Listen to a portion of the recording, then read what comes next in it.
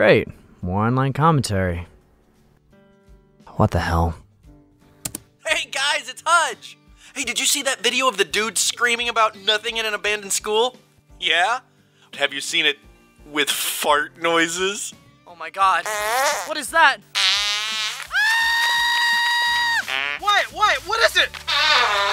It's not safe! It's not safe! That's freaking hilarious, huh? I just turned a lame video of a dude faking a ghost hunting trip into a guy running through the halls screaming while sounding like he's taking a. Don't you have better things to do on your channel?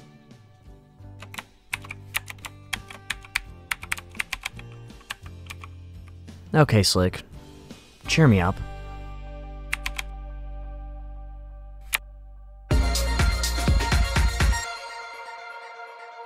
What is up, ladies and gentlemen? Slick Saucy here with your Slick News with Sauce update. And once again, I get to be really saucy. You love it, I love it. So let's get right to it.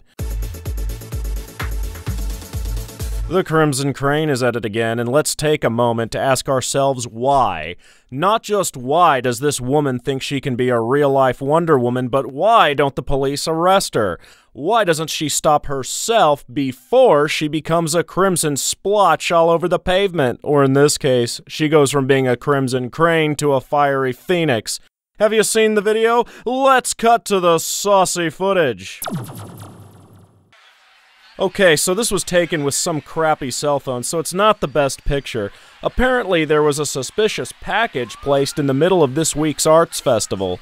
Police are trying calmly to clear everyone, and then she swoops in and begins to interfere with police efforts. It adds more confusion. Then she manages to run behind this couple who are already making their way out without assistance, and then. The package explodes, setting Crane's costume on fire. Oh the crane! The crane! The crane is on fire! The crane! The crane! The crane is on fire! She's doing more harm than good! Let's hear what people on the street have to say! Have you seen the crane fire footage? No, I haven't. Let's cut to the saucy footage!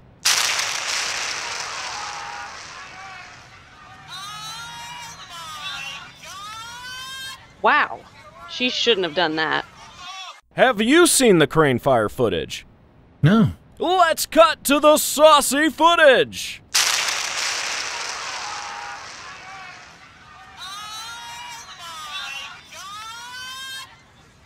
Oh my god.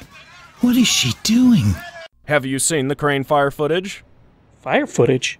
I don't think so. Let's cut to the saucy footage! Alright, enough of that. I get it. I guess when it comes to going viral, it could be worse.